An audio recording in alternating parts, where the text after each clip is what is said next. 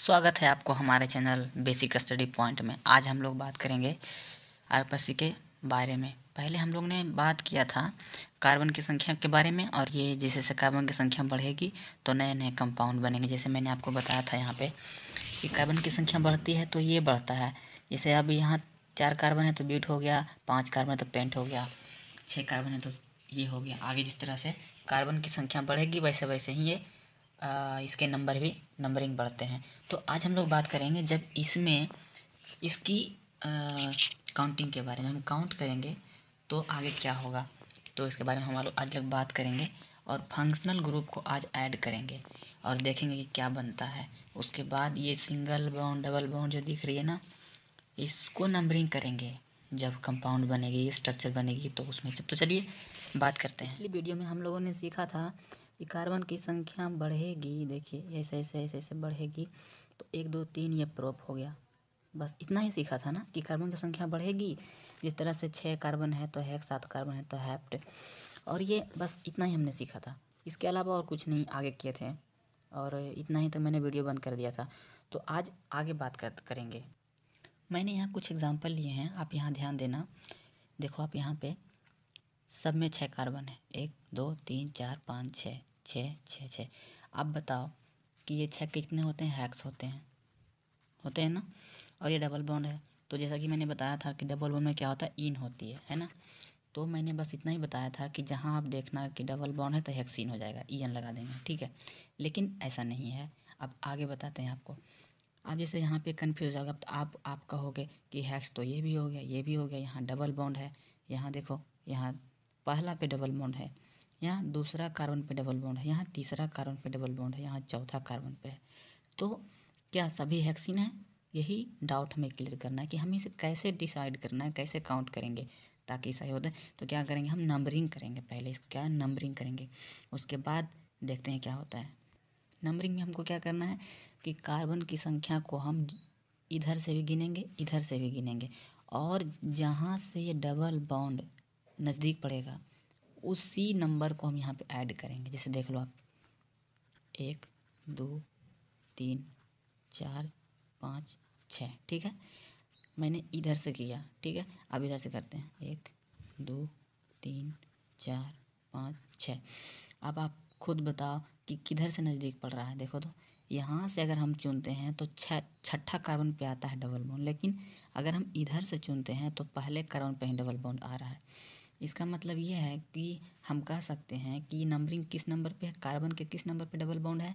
तो एक नंबर पे है।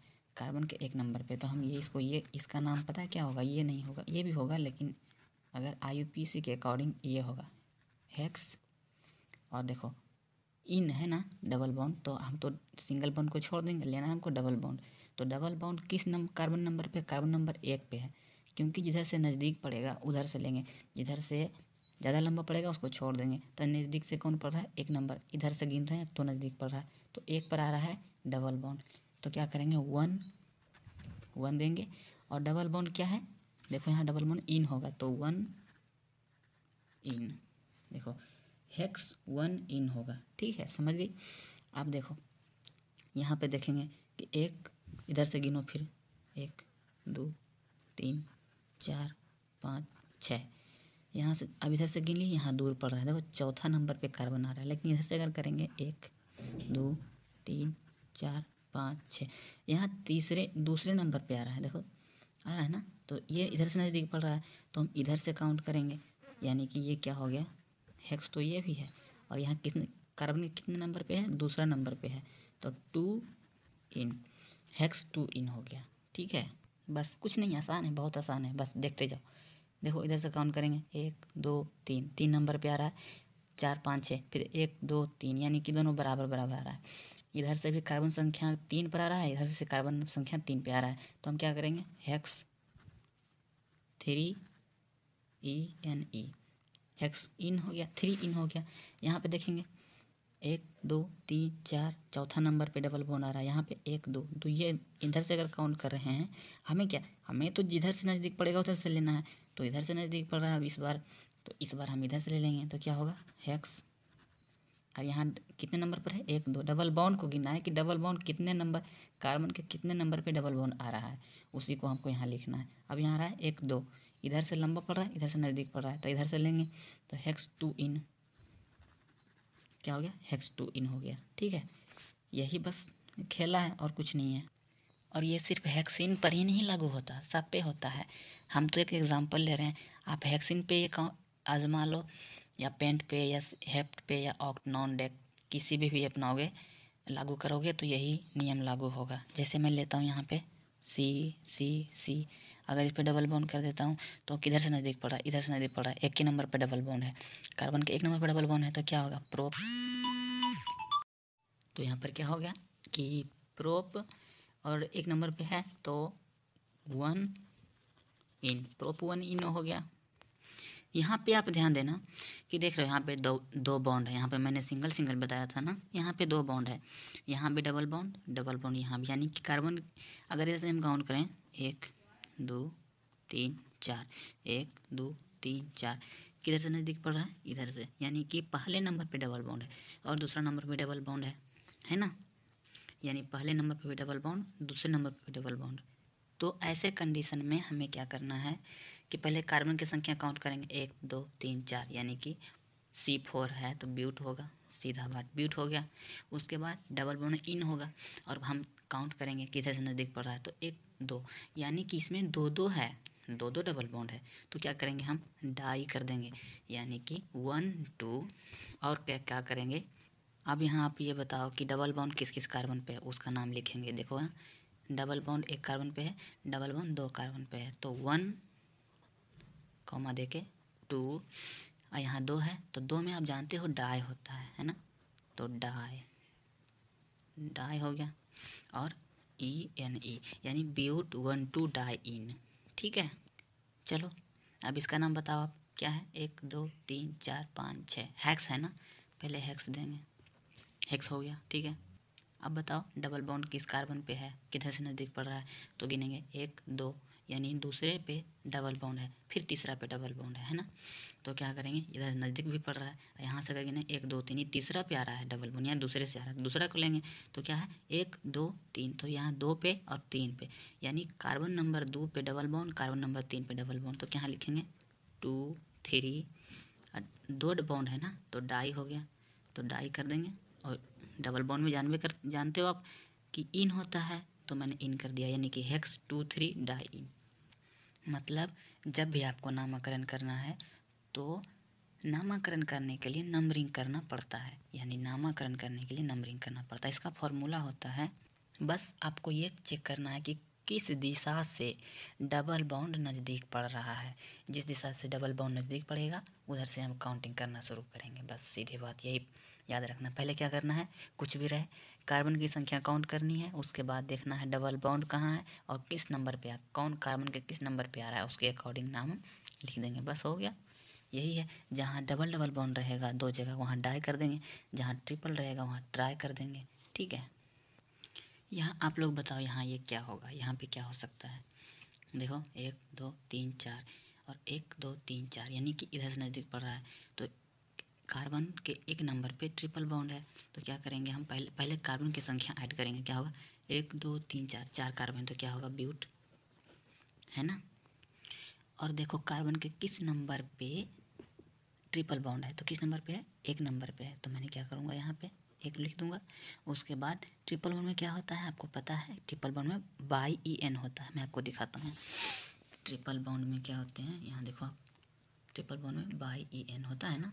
ट्रिपल बाउंड में, ट्रिपल बाउंड में बाई ई एन। तो यहाँ क्या करेंगे? ट्रिपल बाउंड है ना? तो यहाँ क्या कर देंगे? One by E N. ठीक है? तो क्या हो गया? ब्यूट वन आइन। तो फाइनली आपने ये जान लिया।